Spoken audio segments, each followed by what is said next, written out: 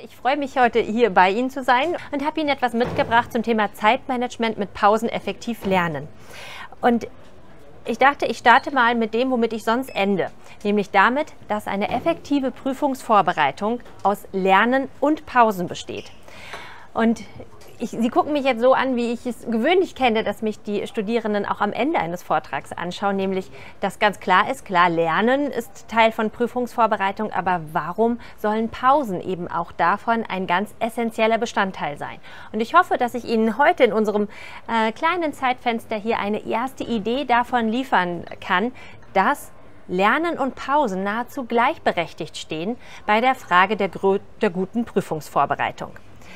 Wenn ich Sie jetzt nämlich fragen würde, wie Sie Ihre eigene Leistungsfähigkeit, Merkfähigkeit, Aufmerksamkeit, Konzentration über eine Lernphase hinweg einschätzen, dann würden Sie mir vermutlich, in der äh, Psychologie haben wir es ja ganz viel mit der Statistik, da wissen wir, in dem Ende mittelt es sich irgendwie immer, etwas derartiges berichten, dass Sie sagen, ich brauche ein bisschen, um reinzukommen und dann kann ich mich aber ganz gut strukturieren, kann ich ganz gut mich weiter konzentrieren. Meine X-Achse geht jetzt über eine Stunde.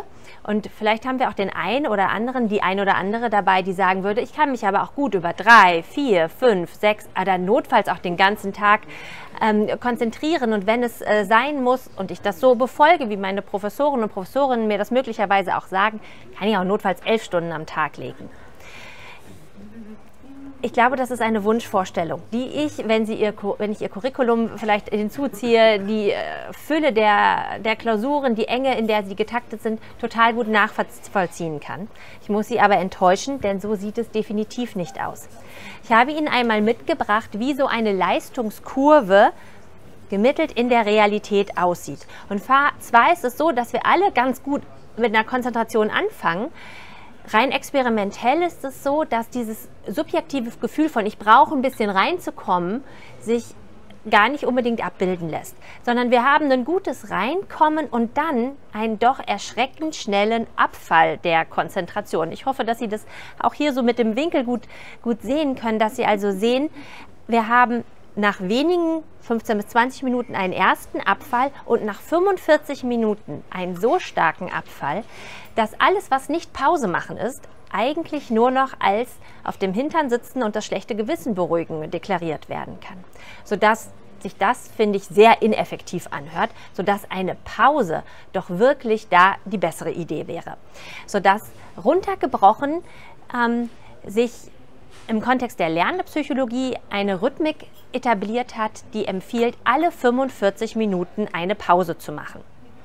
Nach 45 Minuten eine erste kurze Pause, dann die nächste Lerneinheit, eine etwas längere Pause und so geht es dann weiter bis zur ersten längeren Mittagspause und dann sehen Sie, darf man noch einmal zurück auf Anfang sodass wir einen ganz klar gegliederten Lerntag haben, der von vielen kleinen Pausen durchzogen ist. Und jetzt denken Sie vielleicht, da komme ich doch überhaupt nicht mehr zum Lernen, da bleibt doch überhaupt nichts mehr übrig. Ich kann Sie beruhigen, ich erzähle dieses 45-Minuten-Modell schon etwas länger. Und ich habe tatsächlich noch keinen Studierenden erlebt, der nach diesem Modell begonnen hat zu lernen und wirklich schlechter geworden ist. Denn in diesen Pausen steckt ein bisschen etwas Magisches drin. Es ist nämlich nicht so, dass Ihr Gehirn in dieser Zeit nichts tut, sondern das, was Sie in einem Lernfenster vorher gelesen, sich angeeignet haben, das soll ja im Gedächtnis bleiben. Und Gedächtnisbildung funktioniert ja über die Bildung von synaptischen Verknüpfungen. Da werden elektrische Impulse durchgejagt, um das mal so ein bisschen vereinfacht darzustellen. Und Ihr Gehirn nutzt Pausen, um diese geschaffenen Verbindungen zu festigen, sodass Sie Ihrem Gehirn letztlich dabei helfen und sich dabei helfen, effizient zu lernen und dann nach hinten heraus eben auch weniger Wiederholungen zu brauchen, weil die Lerninhalte besser abgespeichert wurden.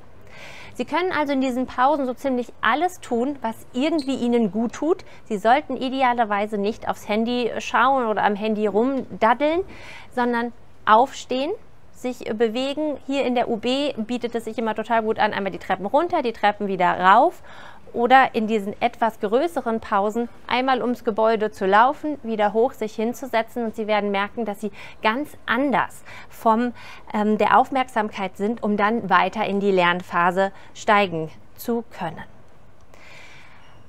Und wenn wir das jetzt fortführen, dann würde ich postulieren wollen, dass es neben der Regel alle 45 Minuten eine Pause macht, noch ein paar ergänzende Maximen effektiven Lernens gibt, nämlich, wenn Sie dieses Schaubild sich vor Augen führen, Sie sahen hier den ähm, oberen Pfeil, Sie dürfen noch einmal zurück, sodass wir dann in der Summe sagen, nicht länger als sechs Stunden reine Lernzeit. Wenn Sie da die Pausen zunehmen, dann sind Sie schon den ganzen Tag gut beschäftigt, keine Sorge. Aber alles darüber hinaus, auch unmittelbar vor Prüfungen, ist wirklich nicht empfehlenswert. Ähm, Sechs Stunden mag für den einen oder anderen auch schon viel klingen. Ein effizienter Lerntag kann unter Umständen auch aus zwei oder drei Stunden bestehen. Und dann auch sicherlich nochmal in Abhängigkeit davon, wo innerhalb einer Lernphase man sich befindet. Das zweite Wichtige ist, nicht nach 22 Uhr zu lernen. Menschen unterscheiden sich, wir haben alle eine unterschiedliche Biorhythmik ähm, und es gibt auch Menschen, die man eher als Eulen bezeichnet. Viel mehr Studierende sagen aber von sich selber, dass sie Eulen sind, als wir es rein von der äh, Statistik her erwarten würden. Und ich glaube, der Hintergrund ist oftmals viel mehr, dass am Ende des Tages die Außenreize weniger werden. Es wird vielleicht in der UB, ähm, Entschuldigung, da schlafen Sie ja nicht, in der WG ruhiger. Dann kann man sich eher konzentrieren. Oder aber auch so etwas wie, ich hatte mir das für heute vorgenommen und wenn ich mich jetzt nicht dran setze, dann habe ich quasi schon wieder einen Misserfolgstag. Und das sind die Punkte, die motivieren. Und bei aller Individualität ist das, was wir auch brauchen, um gut lernen, gut merken und behalten zu können, nach Mitternacht nicht mehr effizient. Da tun Sie sich das Beste, wenn Sie einen regenerativen Schlaf haben. Und um das mit den Pausen noch etwas weiter zu führen, brauchen Sie, braucht Ihr Gehirn, speziell auch in der Lernphase, immer einen Tag Pause, mindestens einen freien Tag die Woche, den Sie sich routinemäßig einplanen sollten, wo man sich so ein bisschen an die Gesellschaft andocken kann und an den Sonntag nehmen kann oder auch jeden anderen Tag, der für Sie individuell besser passt. Das Wichtige ist nur, einen Tag frei sich zu gönnen. Und wenn man das ähnlich betrachtet wie diese 45-Minuten-Regel, dann wird es auch da so sein, dass Sie merken, dass Ihnen das gut tut und dass Sie nach so einem freien Tag wieder frischer auch in das Lernen hineinstarten. Sodass man das als vielleicht Maximen proklamieren kann, von denen ich aber weiß, dass das ganz schön schwierig auch umzusetzen ist. Dass also diese Idee von vielen kleinen Pausen über den Lerntag und eben einem freien Tag ähm, in der Woche für Sie dann vielleicht ganz schön schwierig auch umzusetzen ist. Ich hatte schon gesagt, neurobiologisch gesehen ist es unglaublich sinnvoll. Aber auch lerntheoretisch bzw. motivational gesehen sind Pausen sinnig. Denn es fühlt sich ganz anders an, wenn Sie sagen, ich setze mich jetzt für 45 Minuten hin und dann gehe ich kurz raus in die Sonne, hole ich mir einen leckeren Kaffee, hole ich mir einen Apfel, mache ich ein paar Dehnübungen, gehe ich kurz auf die Yogamatte, räume die Spülmaschine aus. Als wenn Sie sagen, und jetzt setze ich mich hin und ich lerne von jetzt bis heute Abend und diesem Tag passiert nichts anderes. Das heißt, manchmal ist es ja auch gar nicht so leicht, sich zum Lernen zu motivieren. Und mit der Aussicht auf viele schöne kleine Dinge im Lerntag fällt dann vielleicht auch die Motivation bereits leichter. Und etwas, was bei beidem, den vielen kleinen Pausen, aber auch dem freien Tag oft mit reinschwingt, ist ein schlechtes Gewissen. Ich sollte doch eigentlich, ich bin doch schon meinem Lernplan hinterher. Und da hilft es in der Regel, es zu machen, sich den Mut aufzubringen, es einfach mal auszuprobieren. Dann werden Sie schon merken, dass Sie davon profitieren, dass Ihnen das gut tut. Und dann ist es so, dass wir immer mehr von dem wollen, was uns gut tut. Und dann kann es sich ein Stückchen verselbstständigen. Und planen. Also wenn Sie wissen, es fällt mir schwer, dann auch nach sechs Stunden wirklich zu sagen, ich höre jetzt auf, ähm, entsprechend sich vorzunehmen, was kann ich denn am Abend Schönes tun? Oder auch für den freien Tag, sich zu verabreden, irgendetwas zu machen, was Ihnen dabei hilft, nicht zu denken und ich müsste aber doch eigentlich und ich sollte aber doch eigentlich.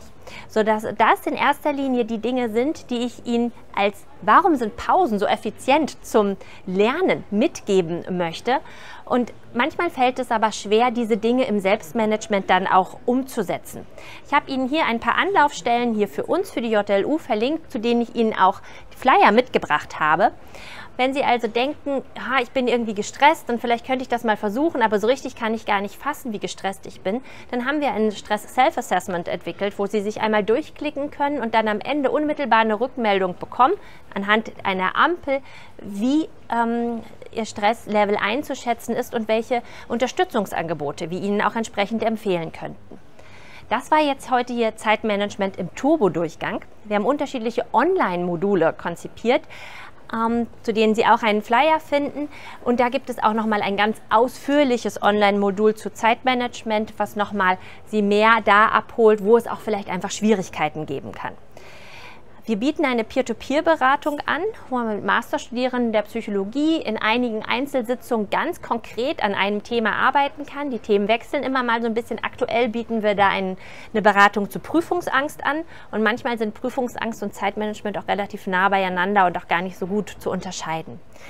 Und Finally, auch unsere psychologische Beratungsstelle werden also die Dinge so richtig schwer fallen. Einerseits vielleicht sich überhaupt zum Lernen zu motivieren oder auch zu merken, ich kann einfach nicht weniger lernen, ich kann das mit den Pausen nicht, mein schlechtes Gewissen treibt mich so sehr an, dann können eben vielleicht auch Einzelberatungen in der psychologischen Beratungsstelle da hilfreich sein. Unter dem Shortcut slash ähm, PBS finden Sie alle Angebote verlinkt und ich habe Ihnen auch meinen Namen dazu geschrieben. Das heißt, wenn sich da irgendwelche Fragen ergeben, jetzt im Nachgang, vielleicht nicht hier so in diesem öffentlichen Raum, können Sie mir dazu gerne auch noch einmal eine E-Mail schreiben. Und das wäre das, was ich Ihnen mitgebracht habe und ich möchte mit dem enden, womit ich auch gestartet bin, denn Wiederholen ist auch eine sehr effiziente Lernmethode merken Sie sich, für die Prüfungsvorbereitung gehören Lernen und Pausen ähm, untrennbar miteinander zusammen. Und ich wünsche Ihnen, dass Sie von jetzt an, wenn Sie weiter in Ihren Lerntag, in Ihre Lernphase starten, einfach alle 45 Minuten eine Pause machen und etwas Gutes für sich tun.